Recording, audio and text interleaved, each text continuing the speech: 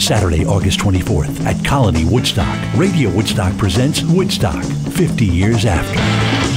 Featuring four legendary guitarists and surprise collaborators reimagining the music of the 1969 festival, with Nels Cline from Wilco playing the music of Santana. Scott Metzger from Joe Russo's Almost Dead playing The Who. Vernon Reid from Living Colour playing Sly and the Family Stone, CSNY, and Jimi Hendrix. And Joel Harrison and Grateful Havens playing the music of Richie Havens and the Grateful Dead, all backed by an incredible lineup of musicians, including Everett Bradley on vocals.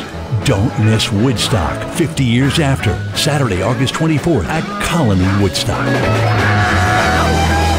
Tickets are on sale now at radiowoodstock.com. Ow!